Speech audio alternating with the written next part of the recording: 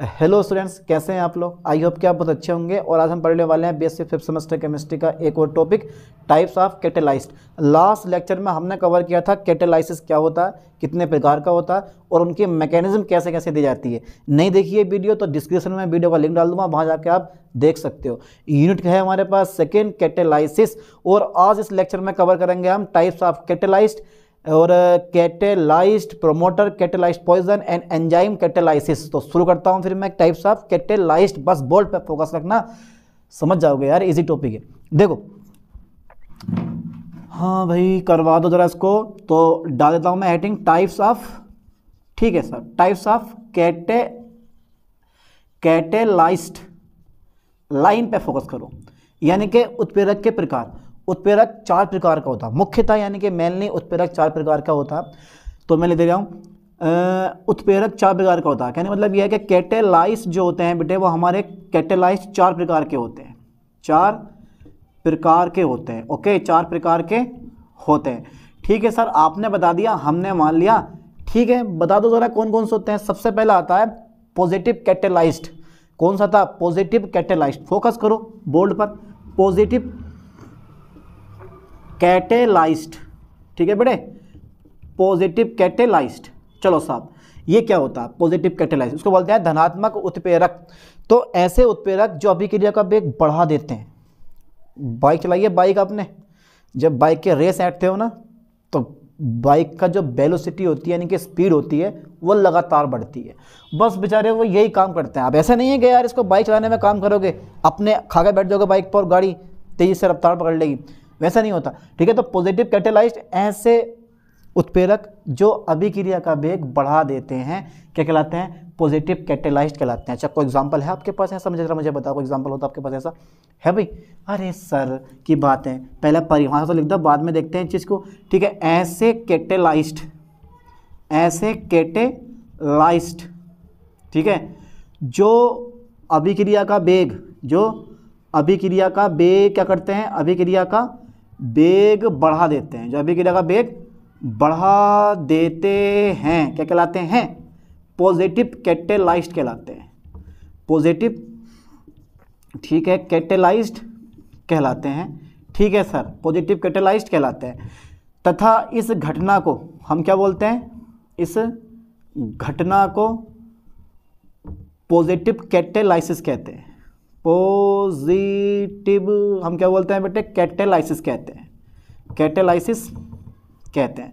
Okay ये तो यार खुद भी लिख लोगे आप, है भाई? ऐसे कैटेलाइज जो अभिक्रिया का वेग बढ़ा देते हैं पॉजिटिव कैटेलाइसिस कहलाते हैं। इस घटना को हम क्या बोलते हैं? पॉजिटिव कैटेलाइसिस कहते हैं। ओके जैसे फॉर एग्जांपल भैया फॉर एग्जांपल बड़ा ज़रूरी है।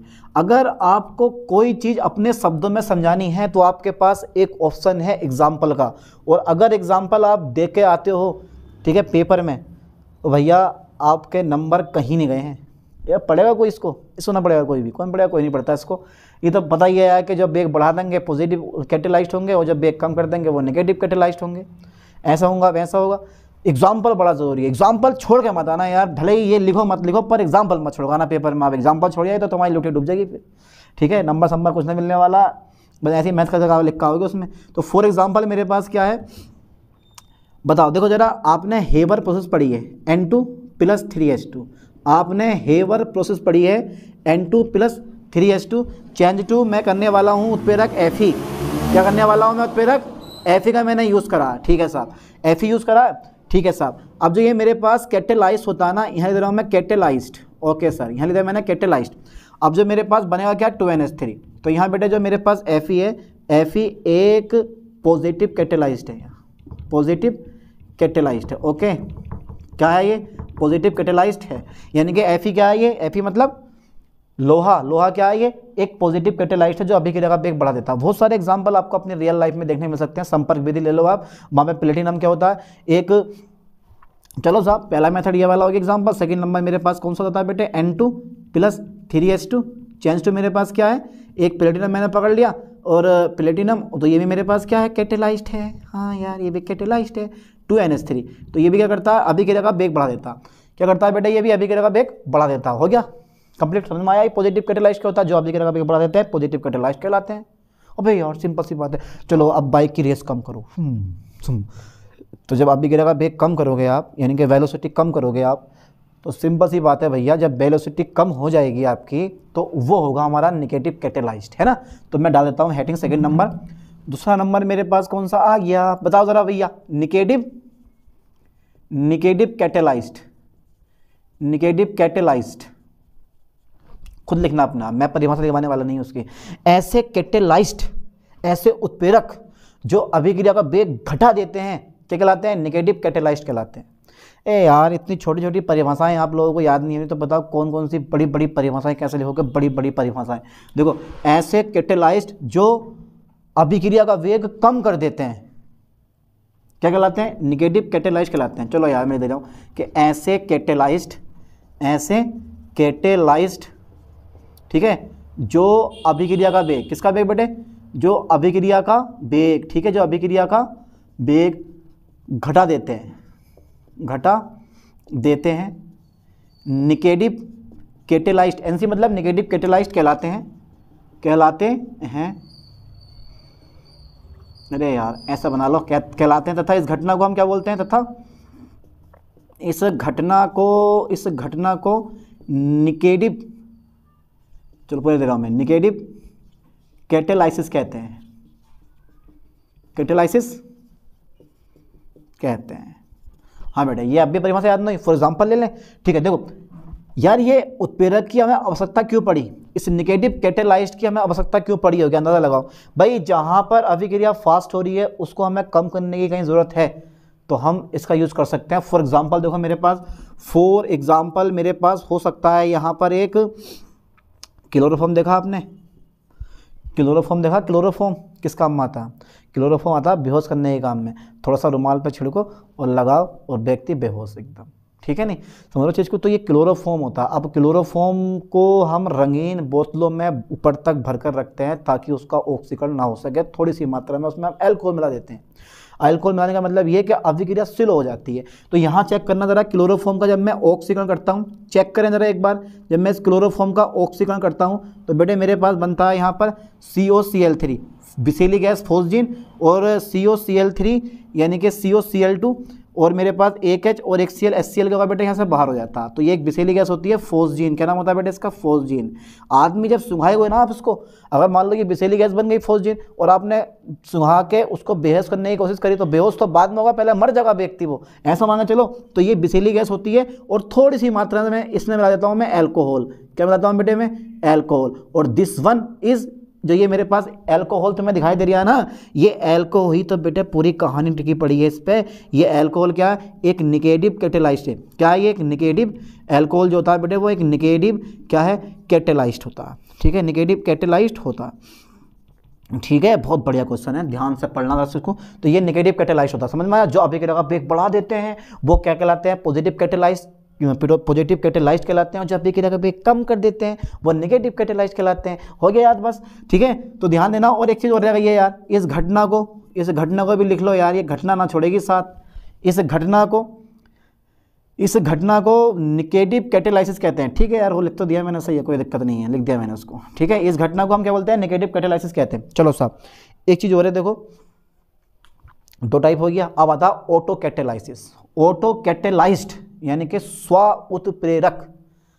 ऐसे उत्प्रेरक, यानी कि जब अभिक्रिया में स्वयं उत्पाद ही अभिकारक, यानी कि जब किसी अभिक्रिया में स्वयं उत्पाद ही उत्प्रेरक का काम करता है ऑटो कैटेलाइज कहलाता अच्छा मैं इसको रेस्ट कर दूँ? है भाई? अरे यार, ये तो सिंपल सिंपल सी चीज़ें आप लोग इसे याद करें फिर लो कब तक? है भाई? तो हो गया यहाँ तक, अब पढ़ लेते हैं ऑटो कैटेलाइज तीसरा नंबर है हमारा ये। तो क्या डाल दूँ हेडिंग में? ऑटो मोबाइल नहीं यार auto catalysed okay sir auto catalysed आपने यही डाला है और ऑटो कैटेलाइज्ड वाला हम पढ़ाएँगे। यानी कि जब जब किसी अभिक्रिया में स्वयं उत्पाद, ठीक है, उत्प्रेरक का काम करता है तो उसे हम बोलते हैं ऑटो कैटेलाइज्ड और इस घटना को बोलते हैं ऑटो कैटेलाइसिस ओके। लाइन पे फोकस करना ठीक से। मैं लिख दे रहा हूँ उस लाइन को। जब किसी अभिक्रिया में, जब किसी अभिक्रिया में, ठीक है सर, जब किसी अभिक्रिया में, ओके सर, जब किसी अभिक्रिया में उत्पाद उत्पाद, जब किसी अभिक्रिया में स्वयं उत्पाद, स्वयं रह गया जब किसी अभिक्रिया में स्वयं उत्पाद स्वयं उत्पाद ही उत्प्रेरक का कार्य करता है। उत्प्रेरक का क्या करता है? कार्य करता हो वर्क करता हो। उत्प्रेरक का कार्य करता है तो हम इसे क्या बोलते हैं? करता है तो उसे ऑटो तो उसे ऑटो कैटेलाइज्ड कहते हैं। ठीक है भाई? तथा इस घटना को हम क्या बोल देते हैं? तथा इस घटना को, घटना घटित, सिंपल सी बात है, इस घटना को ऑटो कैटेलाइसिस कहते हैं। ऑटो कैटेलाइसिस कैटेलाइसिस कहते हैं ओके सर एग्जांपल समझाऊं। एग्जांपल दे मैं इसका बड़ा ज़रूरी है एग्जांपल देखो जरा ध्यान से। एग्जांपल बच्चों वाला। अब एग्ज़ाम्पल बच्चों वाला कौन सा होगा मेरे पास? ठीक है C H three C double O C two H five क्या नाम है इसका? नाम मतलब इसका नाम क्या होगा? इसका नाम बताओ जल्दी फास्ट एथिल एसिटेट क्या नाम है इसका? एथिल एसिटेट ठीक है सर एथिल एसिटेट का मैं करवाता हूँ जल अपघटन बिना किसी उत्प्रेरक के। मेरे पास क्या होगा? C H three C double O H plus C two H five O H मेरे पास क्या हो गया? बाहर हो गया। This one is auto catalysed सोच लो। ये C S three C double H क्या है? बेटा, ये उत्प्रेरक का काम करता है यहाँ पे। यानी कि उत्पाद ही उत्प्रेरक का काम कर रहा है। बस वही है मेरे पास ऑटो कैटेलाइज्ड ठीक है? यानी कि ये क्या है मेरे पास? ऑटो कैटेलाइज्ड क्या बेटा ये? ऑटो कैटेलाइज्ड ठीक है साहब? ऑटो कैटेलाइज्ड इनका नाम सबके याद है। This one is ethyl acetate water acetic acid and ethyl alcohol ठीक है? ये बन गया हमारे पास कंपाउंड तो भैया, जब किसी अभिक्रिया में स्वयं उत्पाद ही उत्प्रेरक का काम करता है तो ऑटो कैटेलाइज तो उसे तो उस तो उसे तो रह गया हमारा। तो उसे ऑटो कैटेलाइज कहते हैं, तथा इस घटना को हम क्या बोलते हैं? ऑटो कैटेलाइसिस कहते हैं। छोटी मोटी गलती खुद निकाल लिया करो यार, ठीक है? क्योंकि मैं यहाँ लिख कर पढ़ाता हूँ, ये लिखा हुआ नहीं है यार, ठीक है? क्योंकि लिखने में, पढ़ाने में दोनों साथ साथ एक, अब देखो यार, लिख भी रहा हूँ साथ पढ़ा भी रहा हूँ, बहुत लंबा काम पड़ जाता, है ना? नेक्स्ट वन देखते हैं। तो ऑटो कैटेलाइज कितना नंबर है मेरे पास? थर्ड नंबर है। Okay sir fourth number check कर लेते हैं इसका। ठीक है सर फोर्थ नंबर चेक कर लो। पहला नंबर पॉजिटिव हो गया सेकंड नंबर मेरे पास कौन सा हो गया? नेगेटिव हो गया, और थर्ड नंबर मेरे पास कौन सा आ गया? ऑटो कैटेलाइज आ गया, और फोर्थ नंबर मेरे पास कौन सा आ गया बेटे? ये आ गया इंड्यूस्ड कैटेलाइज अब लगा लो अंदाज़ा। इंड्यूस्ड इंड्यूस्ड कैटेलाइज्ड कैटेलाइज्ड है ना? इंड्यूस्ड कैटेलाइज्ड देखो होता क्या? देखो जब एक अभिक्रिया दूसरी अभिक्रिया के लिए उत्प्रेरक का कार्य करती है तो उसको हम इंड्यूस कैटेलाइज कहते हैं। मैं लिख दे रहा हूँ कि जब एक अभिक्रिया, जब एक अभिक्रिया, ठीक है सर, जब एक अभिक्रिया दूसरी अभिक्रिया के लिए, किसके लिए? दूसरी अभिक्रिया के लिए। जब एक अभिक्रिया दूसरी अभिक्रिया के लिए, ठीक है सर, दूसरी अभिक्रिया के लिए उत्प्रेरक का कार्य करती है।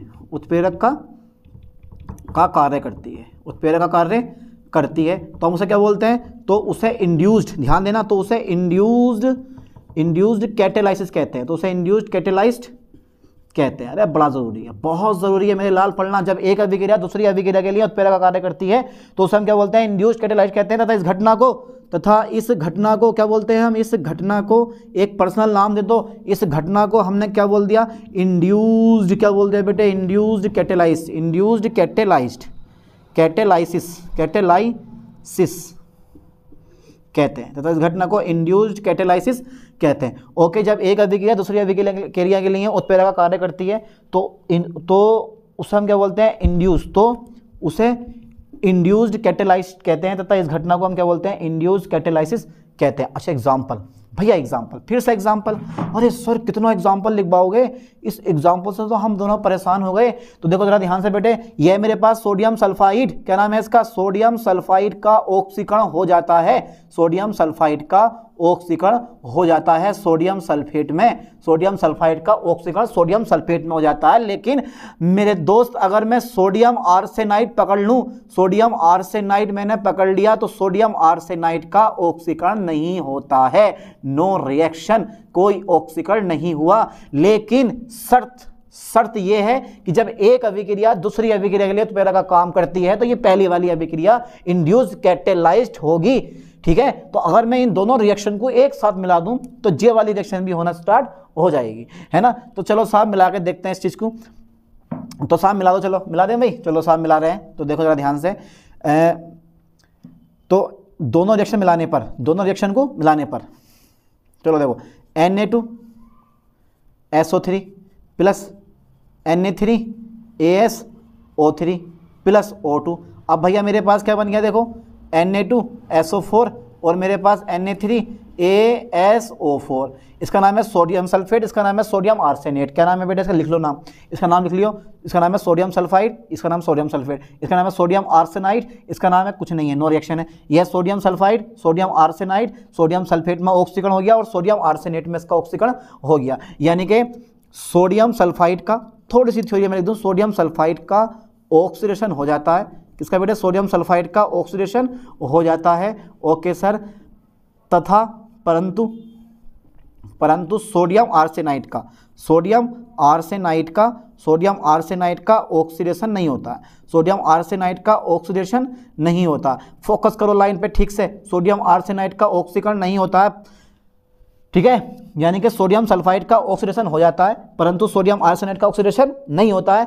यदि दोनों अभिक्रियाओं को मिला दिया जाए तो यदि दोनों अभिक्रियाओं को मिला दिया जाए, यदि दोनों, किसको बेटे? अभिक्रियाओं को मिला दिया जाए। यदि दोनों अभिक्रियाओं को अभिक्रियाओं को मिला दिया जाए, ठीक है? तो यदि दोनों अभिक्रियाओं को मिला दिया जाए, मिला दिया जाए तो ठीक है, सोडियम आर्सेनाइड सोडियम आर्सेनाइड का भी का भी ऑक्सीडेशन हो जाता है। का भी ऑक्सीडेशन हो जाता है मेरे दोस्त, हो जाता है। ये थोड़ी सी थ्योरेटिक एग्जांपल में। यार, मैंने बोला ना एग्जांपल बड़ा ज़रूरी है। सोडियम सल्फाइड का ऑक्सीकरण हो रहा है सोडियम सल्फेट में सोडियम आर्सेनाइड का ऑक्सीकरण नहीं हो रहा है लेकिन जब दोनों को मिलाया तो इसकी वजह से इसका भी ऑक्सीडेशन हो गया। तो यही होती है हमारे पास इंड्यूस कैटेलाइज ये होता है इंड्यूस कैटेलाइज और इस घटना को बोलते हैं हम इंड्यूस कैटेलाइसिस चार प्रकार के उत्प्रेरक पहला कौन सा? Positive negative auto and induce catalyse ठीक है? अब पढ़ लेते हैं उत्प्रेरक वर्धक और उत्प्रेरक विध यानी कि उत्प्रेरक विष, यानी कि catalysed promoter and catalysed poison ठीक है? तो यहाँ तक का स्क्रीन सुन लो, उसके बाद देखते हैं जल्दी फटाफट से। अब पढ़ लेते हैं, catalysed promoter and catalysed poison डाल देता हूँ मैं heading catalysed catalysed promoter promoter promoters ठीक है बेटा? ये क्या होते हैं? तो उत्प्रेरक वर्धक बोलते हैं इसको। तो देखो, जब भैया उत्प्रेरक लगातार काम करेगा फॉर एग्ज़ाम्पल चलो मैं एग्ज़ाम्पल ले रहा हूँ एक। देखो, ये मेरे पास N2 है, ये मेरे पास 3H2 है, ठीक है? चेंज टू मेरे पास कितना बन गया? Two N S three ammonia बन गई, यहाँ पे उत्प्रेरक क्या है मेरे पास? एफ़ ही। है उत्प्रेरक क्या है मेरे पास? एफ़ ही थोड़ी मात्रा में मैंने क्या मिला दिया? एमओ मिला दिया। तो देखो, जब भैया लगातार कोई भी व्यक्ति काम करेगा तो थकेगा ही नहीं, थकेगा। है ना? उसको क्रियाशीलता यानी कि उसकी ताकत बढ़ाने के लिए उसको खाना खाना पड़ेगा, है? तो यहाँ पे एफ़ जो होता है, वो लगातार वर्क करता, चौबीस घंटे वर्क करता और भर भर के हमें क्या करता है? अमोनिया दिलवाता। है ना? भर भर के क्या करता है हमें? ये अमोनिया दिलवाता है, लेकिन एफ़ जो होता है, बेचारा थक जाता है। लगातार जब 24 घंटे काम करेगा तो थक जाता है ऐसी क्रियाशीलता क्या होती है? कम हो जाती है। तो भैया, साइंटिस्ट लोगों ने हर चीज़ का जुगाड़ निकाल रखा है। तो वो, उन्होंने ये जुगाड़ निकाला, भैया थोड़ी सी मात्रा में ये मोलीबेडनम डाल दो तो जो ये एफ़ है इसकी क्रियाशीलता, यानी कि उसको ताकत मिलती रहेगी, इसको खाना खाना, थोड़ा बहुत खाना खिला दो उसे, उसको लगातार क्या होती रहेगी? इसकी ताकत बढ़ती रहेगी। बस यही होता है उत्प्रेरक वर्धक, जो उत्प्रेरक की क्रियाशीलता को बढ़ाता है। है ना? तो ऐसे पदार्थ यानी कि ऐसे उत्प्रेरक या ऐसे पदार्थ जो उत्प्रेरक की क्रियाशीलता को बढ़ाते हैं उत्प्रेरक वर्धक कहलाते हैं। जैसे हेबर विधि में एमओ जो होता है वो एफ़ की क्रियाशीलता को बढ़ाता है। लिख लो खुद? या मैं लिखवाऊँ? अरे सर लिखवा दो इस चीज़ को। लो साहब चलो लिखो। इसमें क्या चीज़ें लिखने की? तो आ, मैं क्या लिखवाऊँ परिभाषा? ऐसे पदार्थ ऐसे पदार्थ ठीक है ऐसे पदार्थ जो उत्प्रेरक की। ध्यान देना, जो उत्प्रेरक की उत्प्रेरक की क्रियाशीलता को बढ़ाते हैं। क्रियाशीलता को बढ़ाते हैं, जो उत्प्रेरक की क्रियाशीलता को बढ़ाते हैं। क्या कहलाते हैं भाई हमारे? ऐसे पदार्थ जो उत्प्रेरक की, जो उत्प्रेरक की क्रियाशीलता को बढ़ाते हैं। बढ़ाते हैं। कैटेलाइज्ड कैटेलाइज्ड प्रोमोटर कहलाते हैं। प्रोमोटर कहलाते हैं। उत्प्रेरक यानी कि ऐसे पदार्थ जो उत्प्रेरक की क्रियाशीलता को बढ़ाते हैं कैटेलाइज प्रोमोटर कहलाते हैं। हो गया कंप्लीट कर लो याद। जैसे जैसे भैया मेरे पास N two plus three H two F M तो भैया देखो यहाँ क्या करता है देखो आ, मैं दे रहा हूँ कि हेवर विधि में हेवर विधि में हेवर विधि में ठीक है एमओ जो होता है वो क्या होता है बेटे? उत्प्रेरक कैटेलाइज्ड प्रोमोटर होता है। कैटेलाइज्ड प्रोमोटर होता है। प्रोमोटर होता है, ठीक है? होता है जो उत्प्रेरक एफी जो कैटेलाइज्ड कैटेलाइज्ड एफी की क्रियाशीलता को यानी कि रिएक्टिविटी को बढ़ाता है। क्रियाशीलता को क्या करता है बेटे? क्रियाशीलता को बढ़ाता है। क्या है यार इसमें? सब थ्योरी थ्योरी है बिल्कुल। क्या केमिस्ट्री है? केमिस्ट्री तो पहली बुक में थी फ़र्स्ट पेपर में थी केमिस्ट्री ओरिजिनल वाली केमिकल जिसमें ऑर्गेनिक केमिस्ट्री थी। ये तो क्या है कुछ? ऐसी में चलिए ये कहानी, सोचो इसमें क्या कुछ भी ना। तो हेबर विधि में एमओ जो है वो कैटेलाइज प्रोमोटर होता है, जो कैटेलाइज एफ़ की क्रियाशीलता को बढ़ाता है। बढ़ा देता है बढ़ा। दबा दब दबा दब यानी कि नाइट्रोजन मिलती रहती है, यानी कि अमोनिया यहाँ पे लगातार मिलती रहती है। ठीक है? तो कर लो यार, ऐसे पदार्थ जो उत्प्रेरक की क्रियाशीलता को बढ़ाते हैं कैटेलाइज्ड प्रोमोटर कहलाते हैं। अच्छा एक चीज़ और है, ठीक इसका अपोजिट लिखवा दे रहा हूँ मैं। Catalysed catalysed poison catalysed poison. ठीक है, यानी कि विष, उत्प्रेरक विष उसको बोलते हैं उत्प्रेरक विष। ये क्या होता है? ऐसे पदार्थ जो उत्प्रेरक की क्रियाशीलता को घटा देते हैं। ऐसे पदार्थ ऐसे पदार्थ, ठीक है, ऐसे पदार्थ जो उत्प्रेरक की। किसके बेटे? जो उत्प्रेरक की। ऐसे पदार्थ जो उत्प्रेरक की क्रियाशीलता को, उत्प्रेरक की क्रियाशीलता को क्या करते हैं? उत्प्रेरक की क्रियाशीलता को घटा देते हैं। को घटा देते हैं, क्या कहलाते हैं? घटा देते हैं। ऐसे पदार्थ जो उत्प्रेरक की घटा देते हैं? कैटेलाइज्ड कैटेलाइज्ड पॉइजन कहते हैं। कैटेलाइज्ड पॉइजन पॉइजन कहते हैं। ठीक है? कैटेलाइज पॉइजन कहलाते हैं या कहते हैं। ऐसे पदार्थ जो उत्प्रेरक की क्रियाशीलता को घटा देते हैं कैटेलाइज पॉइजन कहलाते हैं, यानी कि उत्प्रेरक विष कहलाते हैं। ओके? ठीक है साहब एग्ज़ाम्पल लिखवा दूँ इसका मैं? देखो एग्ज़ाम्पल में क्या है मेरे पास? एग्ज़ाम्पल में पहले मैं दूँगा तुम्हें रिएक्शन क्योंकि बिना रिएक्शन के मेरा काम चलने वाला है नहीं, क्योंकि केमिस्ट्री रिएक्शन मांगती है, और जहाँ तक हो सके मेरे दोस्त केमिस्ट्री में रिएक्शन लिख कर आना दिस वन प्लेटिनम उत्प्रेरक, ये क्या बेटे? प्लेटिनम कैटेलाइज है ये। और थोड़ी सी मात्रा में इसमें मिला दूँगा आर्सेनिक सल्फाइड। क्या मिला दूँगा? आर्सेनिक सल्फाइड और धुआँ निकल के बराबर इसका। Two S O three. यानी कि यानी कि ये जो मेरे पास कैटेलाइज है, ये जो आर्सेनिक सल्फाइड है ना, ये क्या? कैटेलाइज पॉइजन होता है। ये क्या होता है बेटे? कैटेलाइज पॉइजन होता है ये। ठीक है? ये जो आर्सेनिक सल्फाइड है, वो क्या होता है तुम्हारे पास? कैटेलाइज पॉइजन होता है। मैं लिख दे रहा हूँ यहाँ से कि भैया ये जो मेरे पास एग्ज़ाम्पल है, ये है संपर्क विधि में। संपर्क विधि है बेटे, ये ध्यान देना, संपर्क विधि में, संपर्क विधि में arsenic sulphide S two S three जो होता है, वो एक आर्सेनिक सल्फाइड, क्या होता है? एक उत्प्रेरक विष होता है। क्या होता है बेटे? उत्प्रेरक विष होता है, ठीक है? उत्प्रेरक विष होता है, ठीक है? जो उत्प्रेरक प्लेटिनम पीटी की रिएक्टिविटी को क्रियाशीलता को क्या कर देता है? क्रियाशीलता को घटा देता है। घटा देता है। ओके ठीक है कैटेलाइज्ड प्रोमोटर्स भी हो गए मेरे पास और कैटेलाइज्ड पॉइजन भी हो गए। अब नेक्स्ट पढ़ लेते हैं हम एंजाइम कैटेलाइसिस तो यहाँ का यहाँ तक का स्क्रीन शॉट के बाद देख लेते हैं फिर।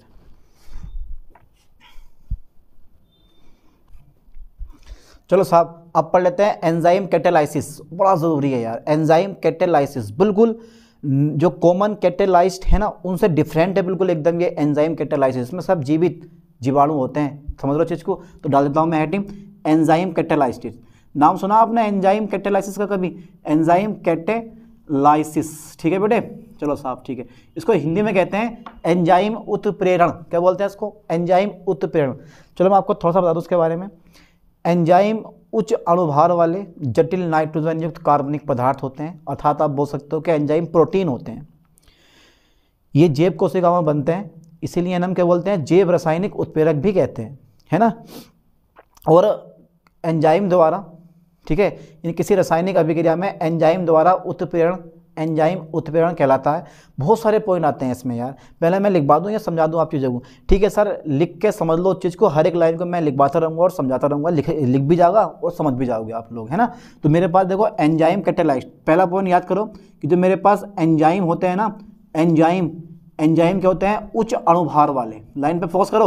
उच्च अणुभार वाले, ठीक है? उच्च अणुभार वाले जटिल, ठीक है, जटिल नाइट्रोजन युक्त, जटिल नाइट्रोजन युक्त एंजाइम उच्च अणुभार वाले जटिल नाइट्रोजन युक्त कार्बनिक पदार्थ होते हैं, ठीक है, कार्बनिक पदार्थ होते हैं, ओके, कार्बनिक पदार्थ होते हैं, ठीक है साहब, ठीक है, एंजाइम उच्च अणुभार वाले जटिल नाइट्रोजन युक्त कार्बनिक पदार्थ होते हैं, कहने का मतलब यह है मेरा कि अर्थात भैया प्रोटीन होते हैं क्या होते हैं मेरे लाल ये?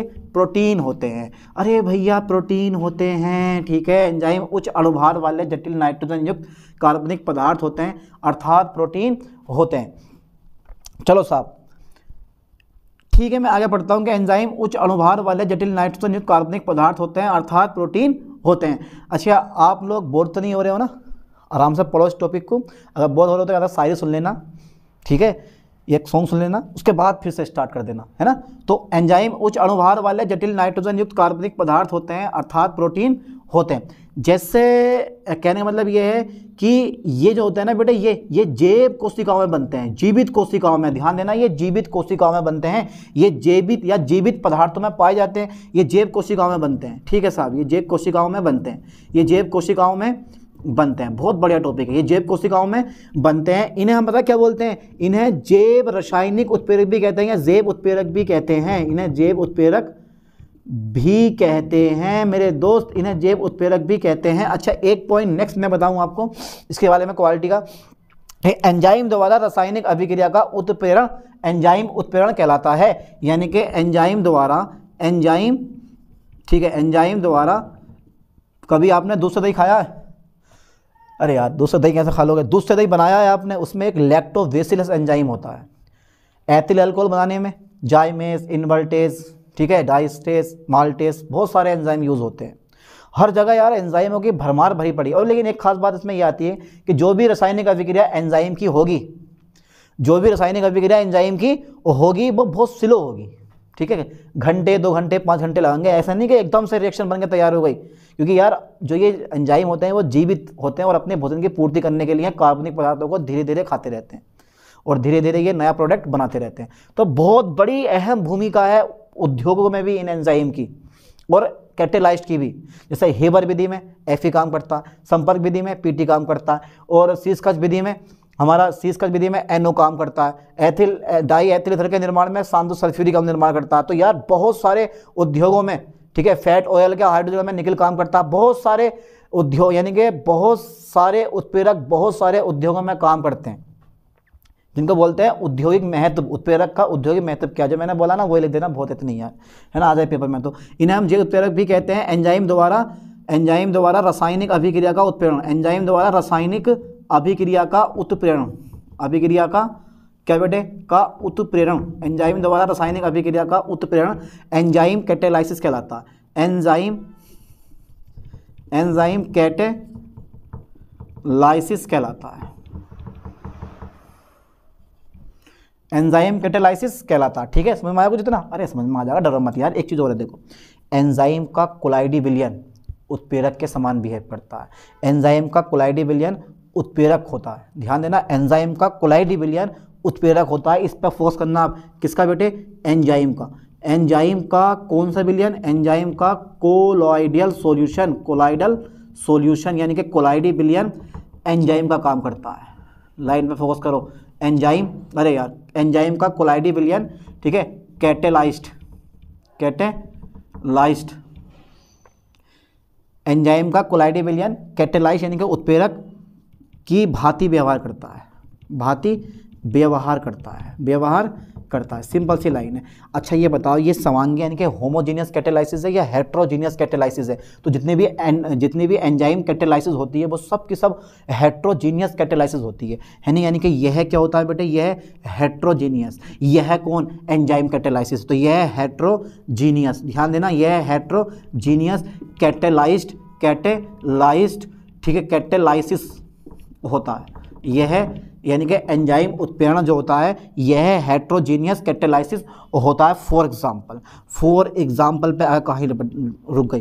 भैया, जितने एग्जांपल हो सके, इतने दे के आओ, क्योंकि थ्योरी कोई नहीं पढ़ने वाला आपकी। थ्योरी में आपने क्या लिखा? नहीं पढ़ेगा कोई भी, बस पढ़ेगा क्या एग्ज़ाम्पल एग्ज़ाम्पल देगा जितने हो सके आपको, ठीक है? तो मैं पहला एग्ज़ाम्पल लिखवाने वाला हूँ चीज़ का। ठीक है, सर, पहला एग्ज़ाम्पल लगवा दो। सबसे पहले मैं करूँगा सुक्रोज का जलक बटन। क्या करूँगा? सुक्रोज का जलक बटन या सरकरा का जलक बटन। ध्यान देना तो बेटे मैं कर रहा हूँ, देखो, सरकरा का जलक बटन, सरकरा का जलक बटन, ठीक है सर? सरकरा का जल बटन कर दो आप और ज़रा बता दो आज कि भाई क्या बनेगा? क्या बनने वाला है? क्या बनने वाला है? सरकरा का जल बटन जो बनेगा मेरे पास, देखो सी बारह एच बाईस, ठीक है सर? ओ ग्यारह प्लस एच टू ओ ठीक है? मेरे पास क्या बन के तैयार हो गया बेटे? मेरे पास जो उत्प्रेरक होता है वो होता है इनवर्टेज क्या होता है? इनवर्टेज ध्यान देना इनवर्टेज यहाँ पे उत्प्रेरक काम करता है तो एक अणु बनता है ग्लूकोज का और एक अणु बनता है मेरे पास फ्रक्टोज का। बहुत बढ़िया एग्ज़ाम्पल है। तो यहाँ पे इनवर्टेज क्या है? एक एंजाइम है, जो कि इसको खा खा के, खा खा के ग्लूकोज और फ्रक्टोज में चेंज कर देगा। मेरे दोस्त तो ये क्या बनेगा? ग्लूकोज बनेगा और ये बनेगा मेरे पास फ्रक्टोज बनेगा। ये क्या बनेगा? मेरे पास फ्रक्टोज ये ग्लूकोज और ये वाला फ्रक्टोज समझ में आ रहा है ना? घबराना नहीं है, बिल्कुल भी। ठीक है? सेकेंड नंबर मेरे पास आता है स्टार्च का जल अपघटन स्टार्च का किसका बेटा? स्टार्च का जल अपघटन, स्टार्च का जल अपघटन। ठीक है साहब, स्टार्च का जल अपघटन। कर दूँ मैं स्टार्च का जल अपघटन, ठीक है साहब। ऐसे नहीं होता नॉर्मल तरीके से भी सोच लो कि पकड़ के जल में घोल दिया मैंने। ठीक है? अच्छा बेटे, तुमने स्टार्च देखा कहीं? ठीक है, नहीं देखा ना? तो खुद से बना लेना अपने आप। जो चावल होते हैं, चावल के ऊपर वाइट पानी जमा हो जाता है, यानी कि गाढ़ा पदार्थ जमा होता है, जिसे हम माड़ कहते हैं। माड़ में स्टार्च की भर भर के मात्रा होती है, जितना चाहो उतना पी सकते हो, बहुत पावर होती है उसके अंदर, ठीक है? तो मेरे पास क्या C six S ten O five का होल एन प्लस भैया N S two O, enzyme जो काम करता है, यहाँ पर डाई स्टेज एंजाइम काम करता है। देखो, डाई स्टेज एंजाइम जो कि माल्ट में पाया जाता है। माल्ट मतलब जो को उबाल कर पीस कर छानने पर एक पदार्थ बनता है, जैसा माल्ट कहते हैं। माल्ट में डाई स्टेज एंजाइम होता है। ठीक है, नेक्स्ट पॉइंट देखते हैं भाई, ठीक से जरा चीज़ को देखो। यहाँ पे दो अणु लगाता हूँ मैं सी ट्वेल्व यानी कि एन आ जाएगा सी बारह एच बाईस और ओ ग्यारह। दिस वन इज़ माल्टोज क्या नाम है इसका? माल्टोज बन के तैयार हो गया। देखो छः दुनी, बारह, दस दुनी छः दुनी, बारह बारह हो गया, दस दुनी, बीस बीस और दो, बाईस हो गया, पाँच दुनी, दस दस और एक, ग्यारह हो गया। रिएक्शन बिल्कुल बैलेंस है। ठीक है साहब थर्ड नंबर पर मैं आता हूँ। थर्ड नंबर पर जब मैं बनाऊँगा तो एथिल एल्कोहल का अपघटन यानी कि ग्लूकोज का अपघटन ग्लूकोज का एथिल एल्कोहल में अपघटन ग्लूकोज का अपघटन ठीक है, सर। क्या बात है, सर। बहुत सारे एग्ज़ाम्पल होते हैं यार। ज़रूरी नहीं कि आप यही एग्ज़ाम्पल करके आओ। Formula C six S twelve O six plus glucose का अपघटन करने वाला हूँ मैं। अपघटन करूँगा यार। जल अपघटन नहीं कर रहा हूँ मैं। Two C two H five ethyl alcohol plus मेरे दोस्त हो प्लस क्या बनने वाला है? कार्बन डाइऑक्साइड सी इसका नाम है एथिल एल्कोहल क्या नाम है इसका? एथिल एल्कोहल फोकस करो बोर्ड पे एथिल एल्कोहल अब एक बार बता दूँ मेरे दोस्त इसके बारे में कि ये क्या मेरे पास एथिल एल्कोहल है। इसका नाम कभी पहले सुना आपने? ये बोई है जो कि आदमी यानी कि दारूबाज लोग जो होते हैं, वो पैक बना के पीते हैं इसको। ठीक है? क्या करते हैं? पैक बनाया और पी गए। तो ये एथिल एल्कोहल होता है, हर एक रम बिस्की बियर चाहे कुछ भी हो, उसमें एल्कोहल की मात्रा होती है। एल्कोहल होता है पर परसेंट के हिसाब से, किसमें कितना डालना होता है अल्कोहल उसके हिसाब से होता है। तो ये एथिल अल्कोहल को बोलता हूँ वाइन स्पीड क्या बोलते हैं? वाइन स्पीड और आपने इंस्टाग्राम वगैरह पे देखा होगा भैया जब व्यक्ति एक पौवा मार देता है तो फिर उससे बड़ा कोई ताकत भर नहीं होगा फिर। है ना? तो ये मेरे पास एथिल अल्कोहल तो ये सी सिक्स ओ सिक्स तो ये बनेगा मेरे पास एंजाइम कौन सा काम करता है? जाइमेस कौन सा एंजाइम करता बेटा? जाइमेस ऐसी दूध से दही बना दो आप। चलो, एक एग्ज़ाम्पल और लिखवा दूँ मैं, चौथा नंबर। दूध से दही बना रहा हूँ मैं आज। दूध से। दही अच्छा सोच रहे हो यार, सर ने बनाया नहीं बनाया? अरे, बहुत बार बनाया यार दही मैंने, ठीक है? दूध से दही। तो इंजाइम करता है लैक्टोबेसिलस कौन सा काम करता है यहाँ? लैक्टोबेसिलस ठीक है? यहाँ एंजाइम लैक्टोबेसिलस काम करता है। एंजाइम कैटेलाइसिस फाइनल अब पढ़ लेते हैं इसकी मैकेनिज्म ऑफ़ एंजाइम कैटेलाइसिस तो यहाँ तक का स्क्रीन सोल लें उसके बाद पढ़ते हैं फिर इस चीज़ को। फिर से एक बार और कर लेते हैं मैकेनिज्म ऑफ़ एंजाइम कैटेलाइसिस शुरू करें फिर, डाल लेते हैं heading mechanism of mechanism of ठीक है एंजाइम ठीक है मैकेनिज्म ऑफ़ एंजाइम कैटेलाइसिस ठीक है बेटे mechanism of enzyme catalysis okay sir करवा दो सर करवा दो इसको। कुछ नहीं है, पहला पॉइंट याद कर लो। देखो, मैं थोड़ा सा तुम्हें पहले लिखवा दूँ, फिर समझाऊँगा जिसके बारे में। पहला पॉइंट यह है कि एंजाइम का कोलाइडी विलियन उत्प्रेरक की भांति बिहेव करता है, पता है है ना? और जो एंजाइम के कोलाइडी कण होते हैं ना, ये वाले, ये एंजाइम के जो कोलाइडी कण होते हैं, ठीक है? इनमें कैविटी होती है और इस जो कैविटी होती है और इस कैविटी में कुछ समूह, सक्रिय समूह, जैसे कि सिंगल बोन ओ OH हो गया single bond C double H हो गया single bond N H two हो गया सिंगल बोन एस एच हो गया। आदि ग्रुप जो है, उपस्थित होते हैं और ये सभी क्या होते हैं, सक्रिय द्रव्यमय यानी कि यानी कि इसको बोलते हैं एक्टिव एक्टिव सेंटर होते हैं, सक्रिय केंद्र होते हैं। और इनकी एक विशेष आकृति होती है। अब वो अभिकारक अणु जिनकी एक विशेष जिनकी आकृति इनके परिपूरक होती है, ठीक है, ताले में चाबी के समान फिट हो जाते हैं। इसको हम लॉक एंड की मॉडल भी कहते हैं। क्या बोलते हैं बेटा इसको? लॉक एंड की मॉडल ध्यान देना, मैं पढ़ाने वाला हूँ आपको lock and lock and key model lock and key model ठीक है भाई? लॉक एंड की मॉडल ठीक है sir. Lock and key model पढ़ा दो आप। तो लॉक एंड की मॉडल ठीक है? लाइन पे ध्यान देना बेटे लॉक एंड की मॉडल पढ़ाने वाला हूँ मैं आपको। तो सबसे पहला पॉइंट मैं लिखवा दूँ आपको। कि भैया मेरे पास जो कहानी आती है, वो ये आती है कि एंजाइम का, किसका? एंजाइम का। एंजाइम का कोलाइडी विलियन एंजाइम का कौन सा विलियन? कोलाइडी विलियन एंजाइम का कोलाइडी विलियन ठीक है सर, उत्प्रेरक के समान। ध्यान देना, उत्प्रेरक के समान व्यवहार करता है। उत्प्रेरक के समान व्यवहार करता है, व्यवहार करता है, ठीक है? अब नेक्स्ट पॉइंट मेरे पास आता है तो कोलाइडी विलियन में कोलाइडी कण होते हैं।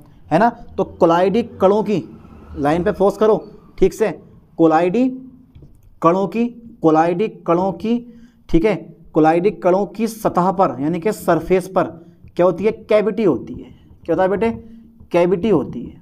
कैविटी होती है जिसमें सक्रिय समूह, यानी कि एक्टिव ग्रुप जिसमें सक्रिय समूह। जिसको हम क्या बोलते हैं? एक्टिव ग्रुप कहते हैं, जिसमें सक्रिय समूह एक्टिव ग्रुप यानी कि एक्टिव ग्रुप जो होते हैं मेरे पास कौन कौन से होते हैं? एस एक्टिव ग्रुप एस भैया active group S single bond N S two ठीक है? Single bond C double O H single bond S H single bond single bonded single bond O H E T C ठीक है? आदि उपस्थित होते हैं। यानी कि ई टी सी उपस्थित होते हैं, ठीक है? उपस्थित, ठीक है, उपस्थित होते हैं, ओके? अरे, ओके तो बोल दिया करो, उपस्थित होते हैं, है ना? ये सभी क्या होते हैं? ये सभी, ठीक है एक्टिव सेंटर होते हैं। क्या होता है बेटे? एक्टिव सेंटर एक्टिव सेंटर होते हैं। इनकी एक विशेष आकृति होती है। क्या होती है? इनकी एक विशेष आकृति होती है। इनकी एक विशेष क्या होती है? आकृति होती है शेप होती है। इनकी एक विशेष आकृति होती है। ठीक है? अब देखो, वे अभिकारक अणु, वे अभिकारक अणु, इनकी एक विशेष आकृति होती है, वे अभिकारक अणु लाइन में फोर्स करो, वे अभिकारक अणु, ठीक है, वे अभिकारक अणु, जिनकी आकृति इनके परिपूरक होती है, वे अभिकारक अणु, जिनकी आकृति जिनकी आकृति, ठीक है, जिनकी आकृति इनके परिपूरक होती है।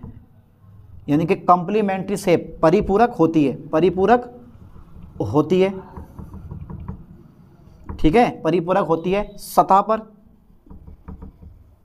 ताले में चाबी के समान। काय में बेटे, लोक में की के समान। की के समान फिट हो जाते हैं। की के समान फिट हो जाते हैं। फिट हो जाते हैं। एक कॉम्प्लेक्स बनता है। क्या बनता है बेटे? एक संकुल बनता है, एक कॉम्प्लेक्स बनता है, जो तुरंत अपघटित होकर, जो तुरंत अपघटित होकर, जो तुरंत अपघटित होकर, ठीक है प्रोडक्ट बनाता है प्रोडक्ट बनाता है, तथा कैटेलाइज्ड अलग हो जाता है। कैटेलाइज्ड क्या हो जाता है बेटे? कैटेलाइज्ड अलग हो जाता है। ठीक है? इसे निम्न प्रकार समझ सकते हैं। लिख दो, इसे निम्न प्रकार समझा जा सकता है। इस टाइप से। ये मेरे पास जो है ना बेटे ध्यान देना लाइन पे। मैं कहाँ बना दूँ? चलो मैं यहीं बना देता हूँ। देखो ये है मेरे पास एंजाइम ठीक है? ई फॉर एंजाइम ये क्या बेटे मेरे पास? ये है एंजाइम ठीक है? लाइन पे ध्यान देना। दिस वन इज़ एंजाइम ठीक है? ठीक है, ये मेरे पास एंजाइम हो गया। प्लस ई प्लस क्या हो गया मेरे पास? ये ई एंजाइम हो गया एस फॉर सब्सटेंस सब्सटेंस ये मेरे पास हो गया अभिकारक, ठीक है? अब चेंज टू एक बनेगा इंटरमीडिएट कंपाउंड ये ई एस ये ई एस बन गया मेरे पास। इसको बोलता हूँ मैं enzyme enzyme substance substance complex क्या नाम है इसका? Enzyme substance complex okay change to ठीक है? ये मेरे पास एंजाइम अलग हो जाएगा। और मेरे पास प्रोडक्ट अलग हो जाएगा, ठीक है? यानी कि इसको मैं थोड़ा दूर दूर लिख दूँ। एंजाइम प्लस प्रोडक्ट ठीक है? ये क्या बन गया मेरे पास? प्रोडक्ट और एंजाइम मेरे पास क्या हो गया बेटा? बाहर हो गया। लाइन पे ध्यान देना तो ये मेरे पास एंजाइम है, वो इस सब्सटेंस के साथ क्रिया करेगा, क्या बना देगा? एंजाइम सब्सटेंस कम्प्लेक्स बनाएगा एक, फिर वो अपघटित होकर एंजाइम बाहर हो जाएगा और प्रोडक्ट हमारे पास क्या होगा? बन जाएगा। इसको देखो, हम कुछ इस तरह से समझ सकते हैं। इसको समझने के लिए थोड़ा ज़रा फोकस करो, बोर्ड पे बेटे ठीक है, देखो ज़रा ध्यान से बेटे, बोर्ड पे ये। ये बना हुआ मैं की। चाबी देखिए ना आप लोगों ने? अबे चाबी ऐसी तो बनती है भाई। ये मैंने बना दी चाबी। ठीक है, बना दी मैंने चाबी। ये हो गया मेरे पास एंजाइम ई ठीक है साहब, प्लस अब सेम आकृति वाला लो। ये, जिसमें ये फिट हो। सके ये है मेरे पास प्रोडक्ट ये क्या है मेरे पास सब्सटेंस क्या बेटा ये? ये है मेरे पास सब्सटेंस इसको बोलता हूँ मैं सब्सटेंस ए प्लस ठीक है, ये मेरे पास हो गया सब्सटेंस ओके ठीक है सर अब क्या होगा, ये दोनों आपस में मिल जाएँगे. ये भी आपस में दोनों के दोनों मिल जाएँगे तो ये बन जाएगा ई सिंगल बॉन्ड एस ठीक है? यानी कि एंजाइम सब्सटेंस तो दोनों को मिला दो. जैसे ताले में चाबी के समान फिट कर दो इसको. ताले में चाबी के समान क्या कर दोगे बेटे? फिट कर दो तो ये मेरे पास क्या हो गया? ताले में चाबी के समान फिट हो गया. एक कंप्लेक्स बन गया, फिर क्या होगा मेरे पास? फिर मेरे पास एंजाइम अलग हो जाएगा. यानी कि फिर मेरे पास क्या होगा? एंजाइम अलग हो जाएगा और सब्सटेंस हमारे पास बन के तैयार हो जाएगा। कुछ इस टाइप से देखो। ठीक है ये?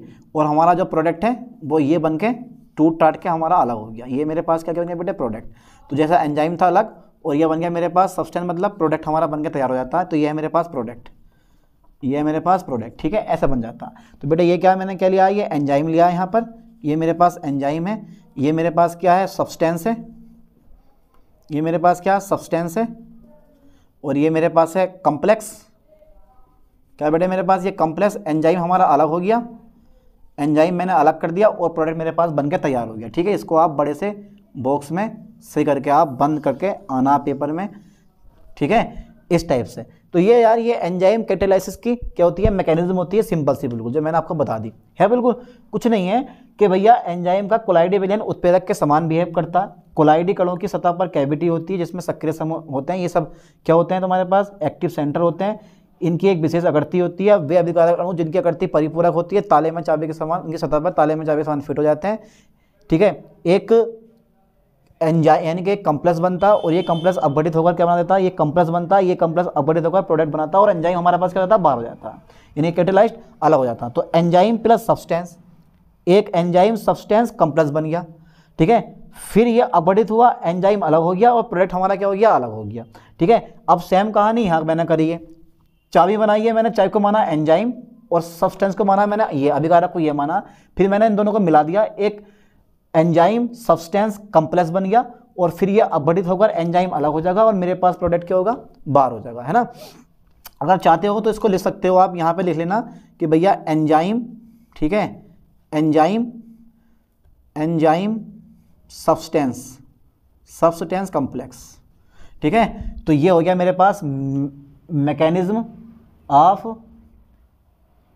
mechanism of enzyme. इसको यार यहाँ पे एम कर लेना आप, ठीक है? ये एम रह गया यहाँ पे, इसको आप एम बना लेना। Mechanism of enzyme catalysis okay तो बड़ा ज़रूरी है यार इस चीज़ को पढ़ना। तो आई होप कि ये टॉपिक आपको समझ में आ गया होगा। अब मिलते हैं नेक्स्ट वीडियो में। थैंक्स